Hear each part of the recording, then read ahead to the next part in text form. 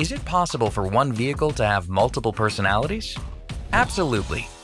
In fact, nearly every model in the modern Toyota lineup has some level of customization in its driving dynamics, thanks to the Drive Mode feature that can transform the vehicle's character with just the press of a button.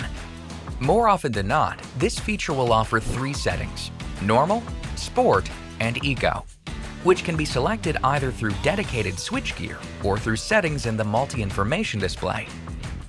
Let's take a minute to go through each one. Normal is essentially the factory default. All systems are tuned to deliver just the right response for balanced, everyday driving. Sport mode is where things get a little more fun. This setting is designed to tighten up various aspects of the vehicle to deliver a more engaging experience. So what does it do? Well, that depends on the vehicle, but typically it involves remapping the powertrain behavior. For the engine, this means adjusting the throttle response so that less pedal movement is needed to achieve more power. In other words, if you picture the pedal travel as a line graph that goes from 0 to 100%, this basically skews the power delivery curve so that there's more available closer to the 0% end.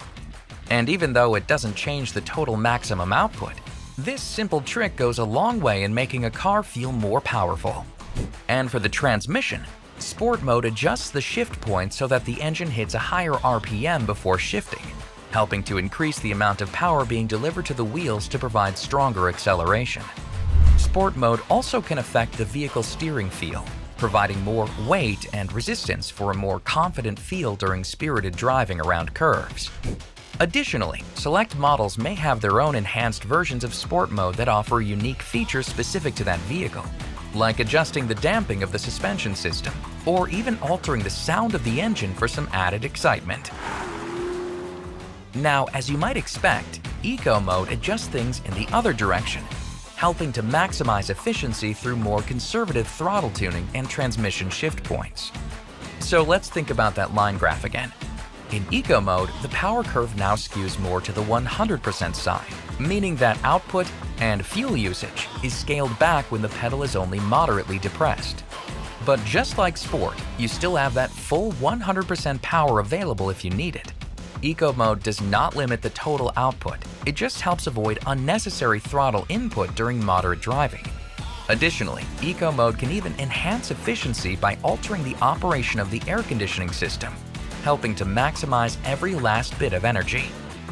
And like on the sports side, the Eco side also has some additional modes that may be available depending on vehicle.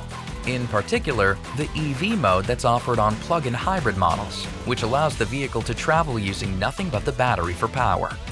In fact, even standard hybrid models can enjoy a limited EV mode experience if the right conditions are met. So that's a brief look at Toyota's various drive mode systems and how they help make for a smarter drive, whether sitting in rush hour traffic or zipping through a winding back road.